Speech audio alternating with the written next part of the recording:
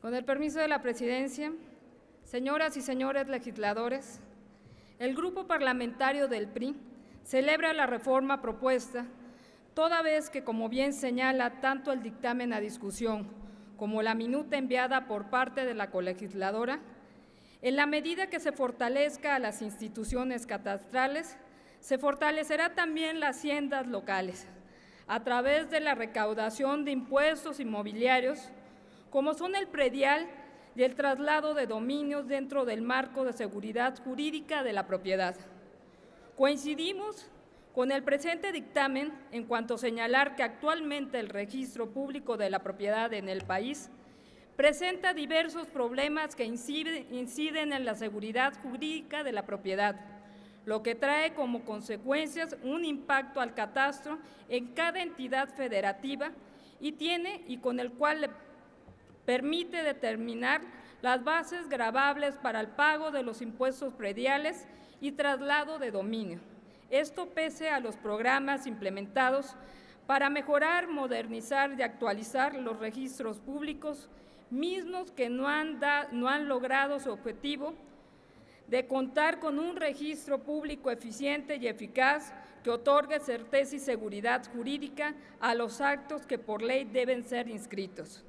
Esta reforma es fundamental ya que resulta a todas luces prioritaria generar información para el ordenamiento territorial y para la política pública de desarrollo urbano y vivienda, con lo que se evitarán miles de litigios, litigios hereditarios por falta de claridad en las propiedades.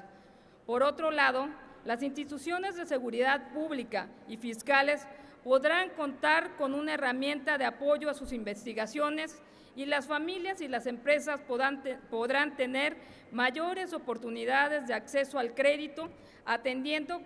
que a cada dicho registro protege la seguridad de los derechos que garantizan la certeza jurídica de la titularidad de los inmuebles registrados. La legalidad de las transacciones del mercado inmobiliario constituyen reducir el costo de averiguaciones, seguros, incertidumbres, así como probables litigios. Es de señalarse que la propuesta al actualizar el sistema constitucional propicia un nuevo marco regulatorio que permitirá la modernización del catastro, lo cual sin duda beneficiará a la economía nacional al contribuir a cobrar mejor de manera progresiva, equitativa, los impuestos locales, complementando así la máxima de justicia distributiva que debe de privar en materia tributaria. Bajo el anterior orden de ideas, es menester considerar que de aprobarse la propuesta, se otorgará mayor certeza y seguridad al patrimonio inmobiliario de las y los mexicanos, lo cual a todas luces constituye una condición fundamental en la materia, toda vez que el patrimonio de las personas y de las familias es uno de los bienes jurídicamente tutelados de mayor envergadura.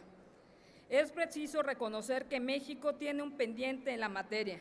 lo que se requiere modernizar la de las instituciones registrales para estar en la vanguardia a nivel nacional e internacional y así coadyuvar en el trabajo de las autoridades fiscales y de procuración de justicia, facilitando con ello la translación de dominios de los muebles bajo criterios de certeza, equidad y transparencia. Debemos perder de vista que una auténtica política pública de vivienda y de desarrollo urbano requiere de las herramientas confiables y actualizadas que permitan un verdadero desarrollo sostenible que impulse un crecimiento urbano lógico, armónico, sustentable, eficiente y orientado a las necesidades ciudadanas y regionales. Bajo el anterior orden de ideas, resulta conveniente dejar en claro que la propuesta en comento se inscribe en el marco del nuevo federalismo, de donde resulte necesario fortalecer las capacidades recaudatorias de los estados y municipios, así como contar con instrumentos útiles de registro mobiliario y de catastro. De ahí resulta fundamental en el, en el primer término adicionar una fracción al artículo 73 de la Constitución, no solo para elevar la ley fundamental de esta facultad del Congreso, sino como una forma de reconocer que las legislaturas locales también forman parte del constituyente permanente, por lo que su aval y su voz en este tema no pueden dejar de ser tomadas en consideración. Reconocemos que la propuesta que hoy está en nuestra consideración requiere para su cabal implementación de la suma de todas las voluntades, porque implica posibilitar desde el punto de vista económico, político, jurídico e institucional a los municipios del país para que modernicen sus registros al tiempo de que fortalezcan su capacidad recaudatoria, lo cual sin duda alguna fortalecerá su economía en beneficio de la población, respetando en todo momento la autonomía municipal. En México es claro, es claro que la idea federal ha sido columna vertebral en la Constitución de la República y lo debe seguir siendo. El federalismo unió la voluntad común,